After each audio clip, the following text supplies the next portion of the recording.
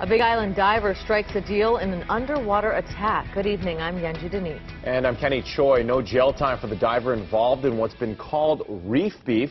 KITV4's Brenton Awa is here with more in tonight's top story. Brenton? Yeah, Kenny, this is a story that had a lot of people in the diving community talking last year. The attack happened in the waters near Waikoloa. Let's get right to the video to refresh our memories.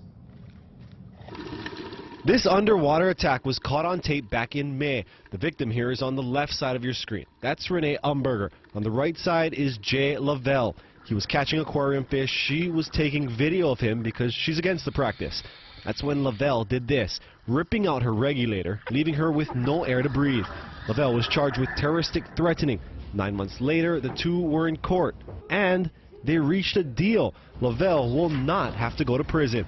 Jay's punished functionally for whatever wrong he did, and he's not overpunished. It's not overkill based on something he didn't do or was accused of or something that was made up, which was really what our fear was going into this case.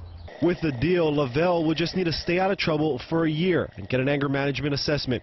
After court, Umberger said that she's satisfied with the agreement and thinks this event will help end the aquarium fish collecting practice in Hawaii. There's uh, overwhelming uh, support from residents statewide uh, for keeping uh, the fish here on our reefs instead of shipping them off to the mainland. So I predict it's only a matter of time. Lovell's lawyer told us that if this did go to trial, it would have been Umberger who would have been seen at fault because he says she was the one who drew the foul. They came to where Jay was. They were looking for somewhere to cause trouble. For now, it appears both sides will go their separate ways.